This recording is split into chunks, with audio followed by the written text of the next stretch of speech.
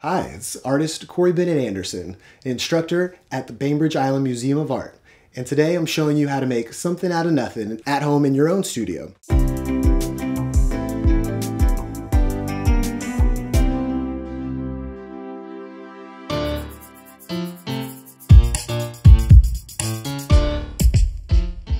So today I'll show you that we have some just found cardboard that we've gotten from our recycling bin, couple magazines that we found lying around, and we're gonna show you how you can use those to create a little bit of something new.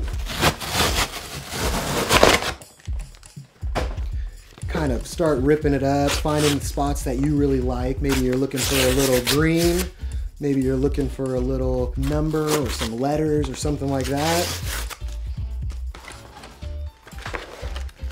I like this little bit of yellow right here. That's my favorite.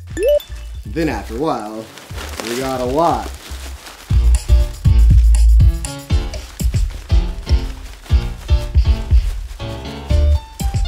What do we got here? Looks like a little Chicago, Illinois.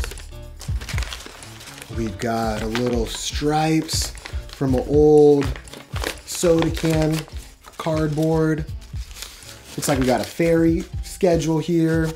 I think it's important to try to get out of your comfort zone and try some new things. Some people like to use sketchbooks to keep their thoughts and ideas.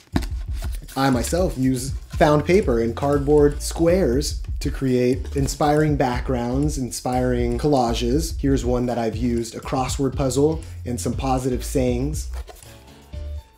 And maybe you recognize that guy. And after doing so, I've been collecting these in my studio kind of as inspirational biscuits. I've got a ton.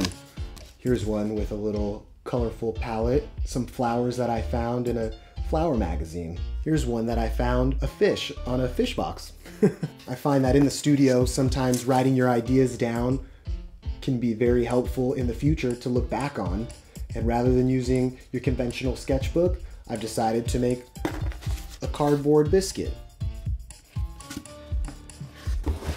Here's another example of a large cardboard box that I've found, and I've collaged all kinds of found materials onto this. And hey, look, it's almost ready to hang. In this piece, I've decided to create a collage using some of my favorite numbers, colors that I've found from magazines and other articles lying around, organic foods.